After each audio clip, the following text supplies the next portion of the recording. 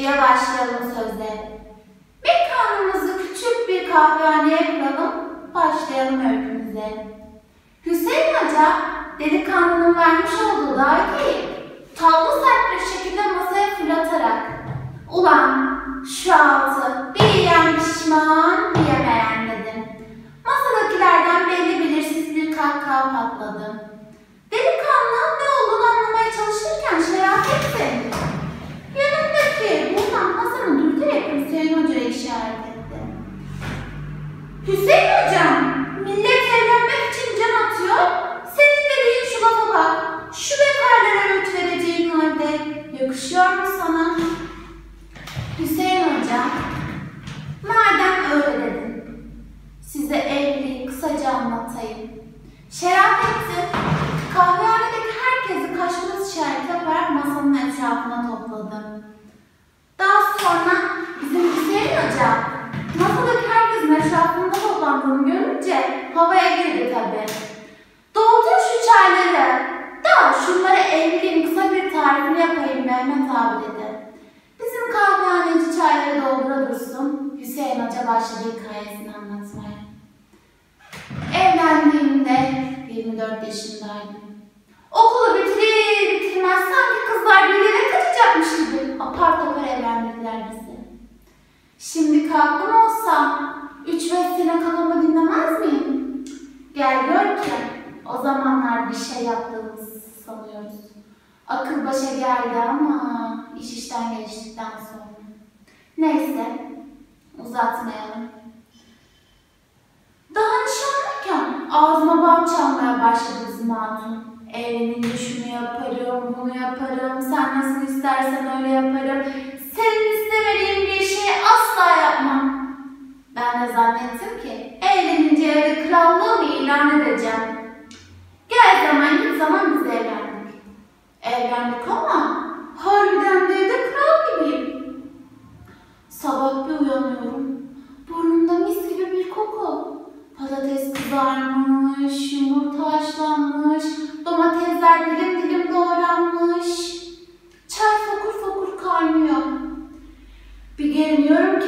Yatağın içinde görmeniz lazım. Hüseyin Hoca'nın yanında bulunan Şerafettin, Hüseyin Hoca'yı coşturmak için omzuna bir kere vurunca bizim hoca kaldığı yerden devam etti. Öyle eve geliyorum. Zile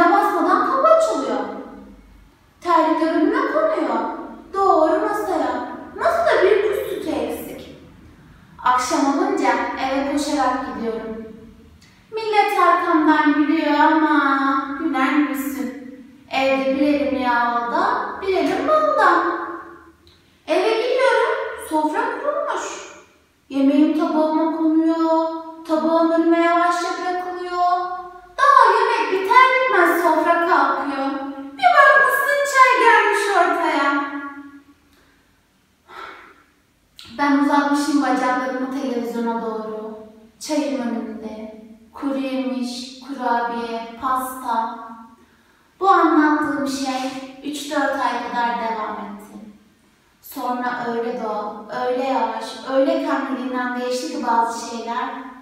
Dur diyemedim. Bu sefer masada bulunanlar da Hasan bastırdı babam eline. Balayı bitti tabii hoca dedi. Bizim hoca çayından bir yudum daha aldı. Kaldığı yerden devam etti. Dedim ya, 3-4 ay kadar her şey rüya gibi gittikten sonra bir sabah uyandım. Geriniyorum yine yatakta. Baktım hanım da yatakta. Dürttüm hafiften. Hayırdır, sen kalkmadın mı bu sabah?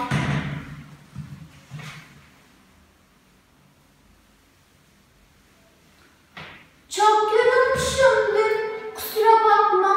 Hemen kalkarım deyince. Yok canım. Sen zahmet etme. Ben hallederim deme gayretinde bulundum. O zamandan sonra her sabah yorgun bizim hanım. Doldur şu çayları da Mehmet abi.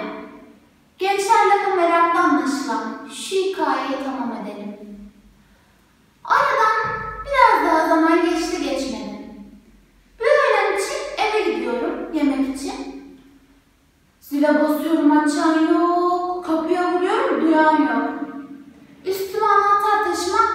abi, Zehra annemlere kadar gideceğim. Hüseyin gelirse merak etmesin dedi. Öyle dediğimden beri üstümden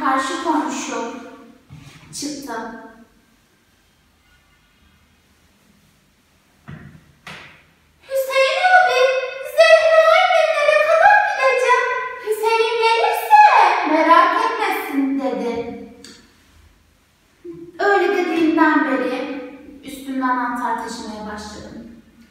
Zaten o günden sonra öğlenleri yemek için eve gitmeyi de bıraktım.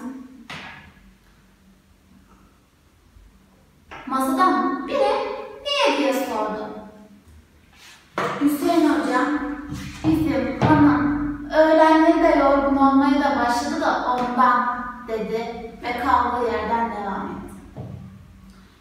Bir, bir yıl geçtikten sonra evde işleri iyice değişti.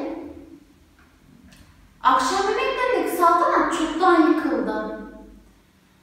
Daha ben kapıdan girer girmez hazırlanan sofrayı artık ben kurmaya başladım. Hani dedim ya, çayım önüme geliyor, şekeri atılıyor, karıştırılıyor falan diye. Bir gün yemekten sonra çay içeceğiz. Hanım koydu sehpaya. Ben uzatmışım bacaklarımı. Televizyon izliyorum. Çayım geldi önüme.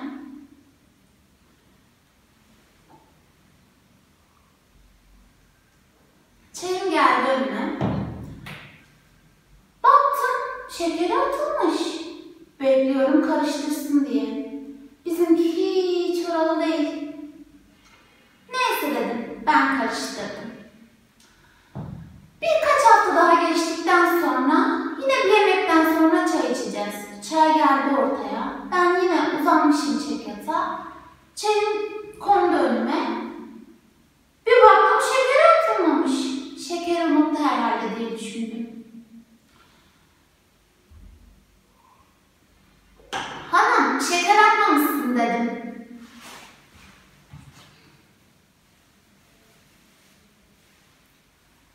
Sen atıver canım. Görmüyor musun? İşim var dedi. Neyse dedim. Attım şekeri karıştırdım. Aradan biraz daha zaman geçti. Artık akşam yemeklerini ben yapıyorum. Öğlen zaten eve gelmiyorum. Sabah kahvaltı işte çoktan bıraktık. Bir gün yemekten sonra bulaşıkları falan yıkadım. Bekliyorum çay gelsin. Hanım çay yapmadın mı? dedim.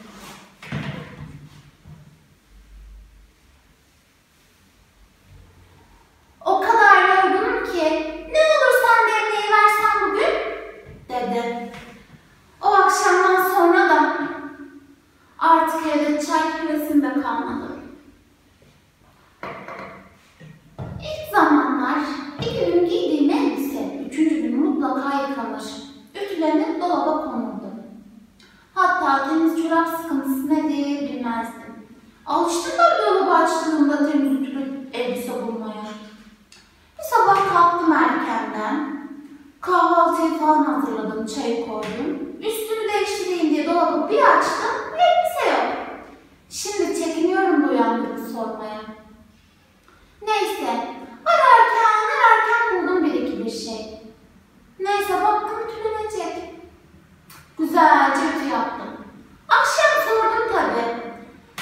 Sen ütü yapmadın mı? Sabah temiz ütülü elbise bulamadım dedim.